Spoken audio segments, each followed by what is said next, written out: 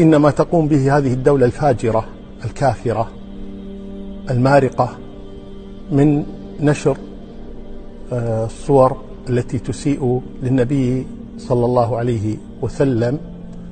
أقول لو كان هذا الذي وقع لبدل الرسول صلى الله عليه وسلم لو كانت هذه الصور لأمير دولة الكويت أو لملك المملكة العربية السعودية.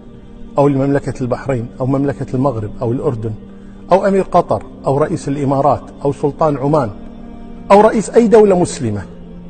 لو وقع هذا له وقعت وضعت هذه الكاريكاتيرات في الاستهزاء به والسخرية منه.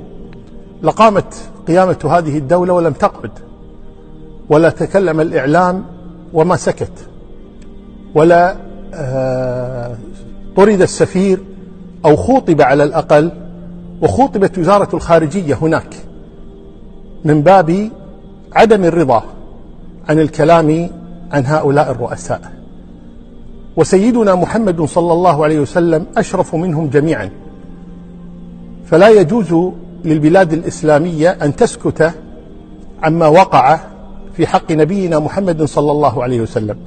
وأقل ما تقوم به أن تسحب سفراءها من هناك أو أن تطرد هؤلاء السفراء سفراء فرنسا في بلاد الإسلام من بلاد الإسلام ليعلموا أننا نغضب لسيدنا محمد صلى الله عليه وسلم.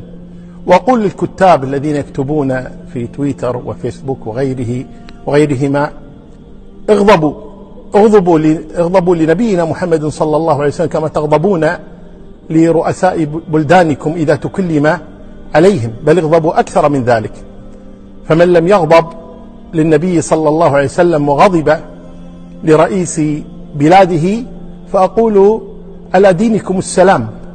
هذا ليس تكفيرا ولكن أقول خاب مسعاكم وحبطت أعمالكم. إن كنتم آه، تعاملون النبي صلى الله عليه وسلم بهذه الطريقة.